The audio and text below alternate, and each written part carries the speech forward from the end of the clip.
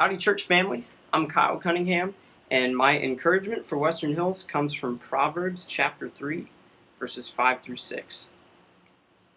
Trust in the Lord with all your heart, and lean not on your own understanding. In all your ways, submit to Him, and He will make your path straight.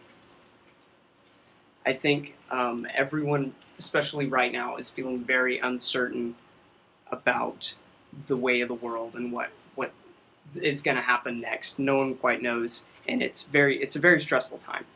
Um, personally, I'm returning to school um, during a semester which is extremely uncertain, and I would love more than anything to be in control of how things play out.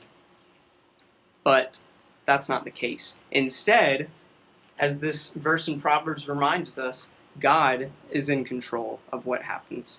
And I don't know about you, but I think having God in control of what happens in my life um, is a better bet than trusting on my own understanding. I think that's something that we all share the desire to be in control of um, how things play out. Um, but we don't have control, God does. And that's something that I found, it, found to be very encouraging while reading Proverbs.